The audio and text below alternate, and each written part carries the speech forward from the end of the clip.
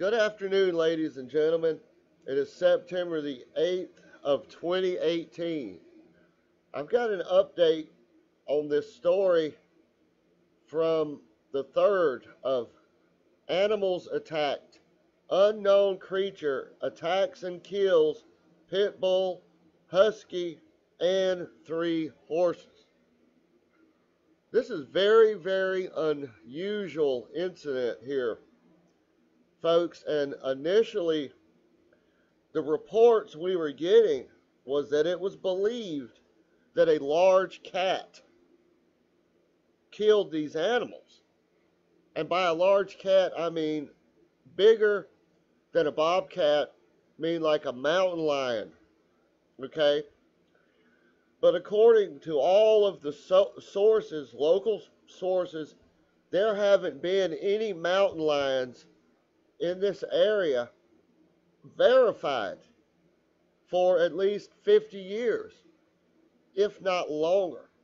And by verification, we mean actual discovery of a dead one or photographs of one, trail camera photographs, there, there is none.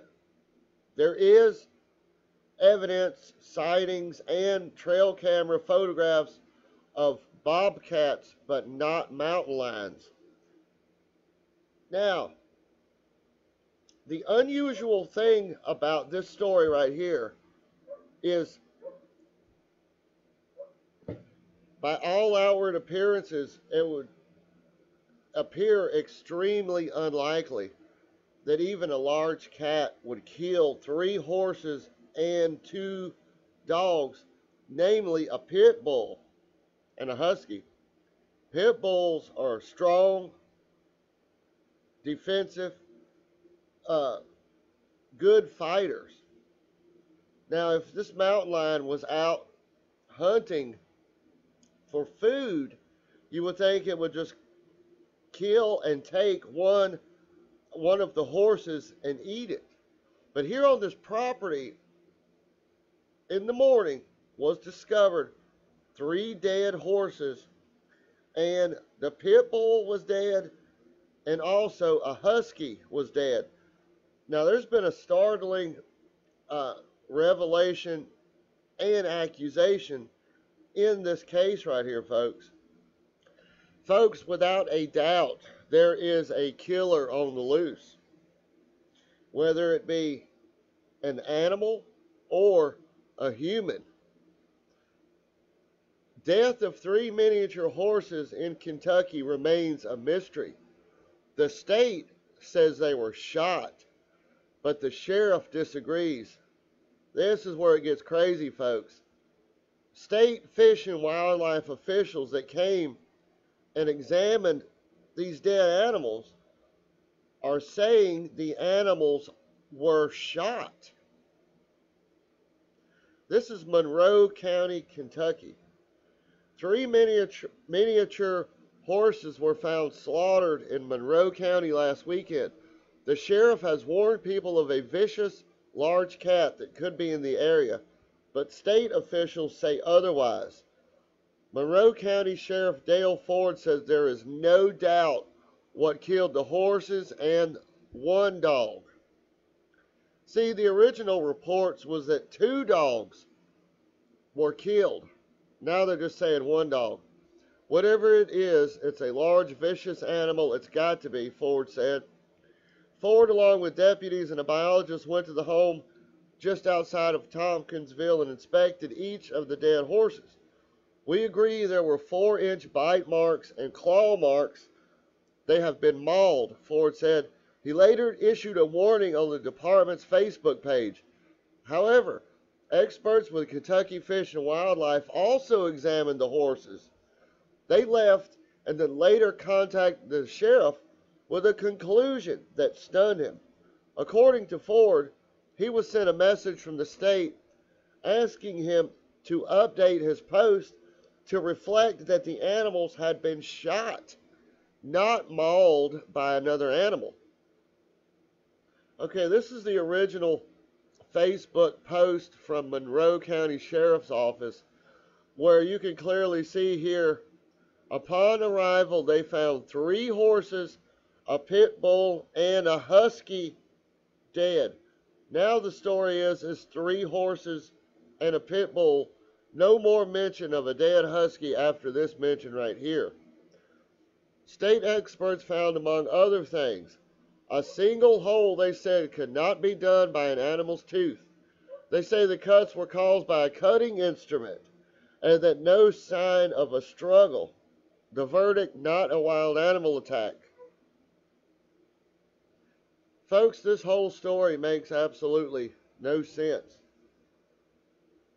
These conclusions that both the sheriff and the fish and wildlife people are coming up with it's very unusual considering that no cats of that large mountain lion have been seen in this area in at least 50 years.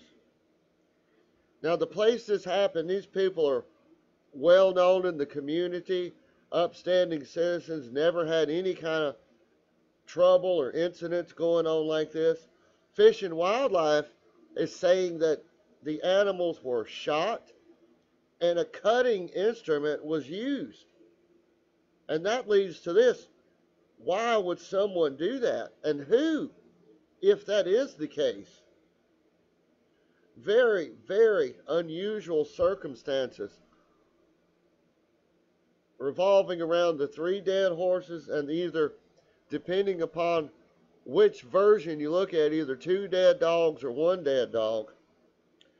But the sheriff and the Fish and Wildlife definitely are butting heads on this.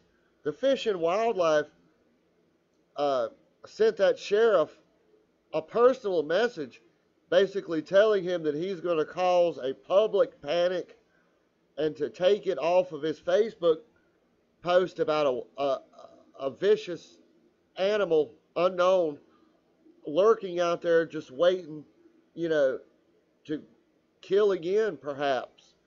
Now, it stands to reason that, you know, if there was a mountain lion, that it would kill and take one horse and eat it.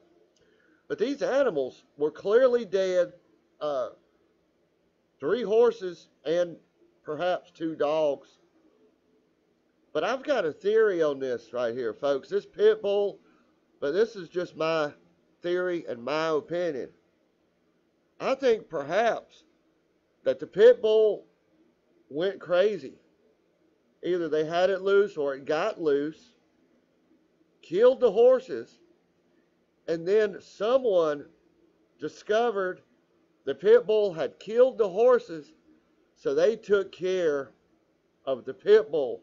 When you read the original initial reports, there was no visible signs of uh, what caused the pit bull to die. No visible injuries to the pit bull, folks. But that's just my theory.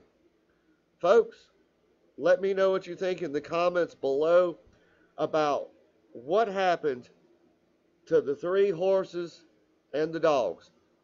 Thanks for watching, and we'll see you next time.